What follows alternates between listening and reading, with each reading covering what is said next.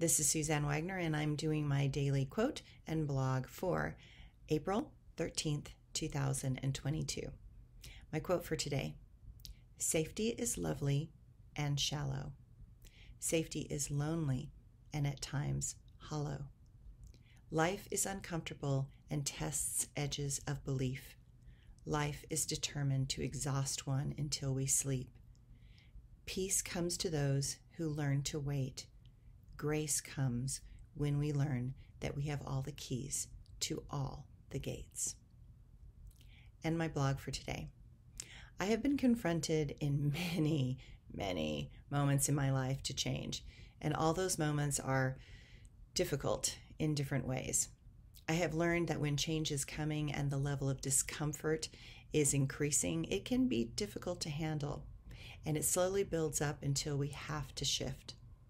When I wanted to go to New York City and go to a school and dance, it was uncomfortable in my old ballet studio world, and I could see that for all my desire, that was that was that what they offered was not what I completely needed to succeed. The next step was out of my comfort zone and into the chaotic and artistic world of New York City. Even once there, it was tremendously difficult and uncomfortable the competition increased exponentially, and all the dancers were of my caliber or much better. Discomfort caused me to stretch and try things that I had never tried. Leaving New York and going to Berlin was worse. And to dance, I had to go to where the job was, regardless of if it was what I had wanted or planned. Leaving the country at 17 years old and going to a country where you do not speak the language was extremely difficult. Learning to navigate a culture in a country with the Cold War happening in the walls and nuclear weapons pointed at the city I was in was not comfortable. Being in the seniority system of a German opera company was like nothing I'd ever experienced. I cried when I got home every day for a year and a half, and every day I determined to put on a smile and try again. I learned a lot by directly dealing with all the levels of discomfort. It was one of the more difficult times in my life, and it was a moment when I learned how to cope and keep going in flows of energy that were completely foreign to what I thought life would look like. Leaving Berlin was more difficult than going there. It was clear that the universe will continue to up the ante when one learns how to navigate one level.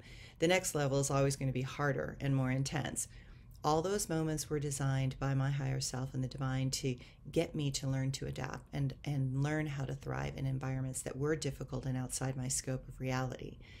I'm grateful for each and every lesson. I'm not in a place where again I could I am I am not in a place where again I do not feel comfortable, but now I realize that it was never about comfort. It is always about growth and expansion. Comfort, while lovely, does not have certain types of development within our soul. Sometimes we choose more comfort and allow ourselves to rest in a life, but others, such as this one for me, were not about that in any way. It was about testing edges, discovering unusual things, embracing the moment, recognizing what is real, what is a perceptual bubble that I wanted to manifest to keep safe. To embrace what was happening and to not try to make things happen that were not in alignment with my path or my deeper self. Those moments are worth it, but they are not for everyone. And yet, each of us will have to learn to let everything we have ever known go and become what the universe knows is next for us. Enjoy the journey.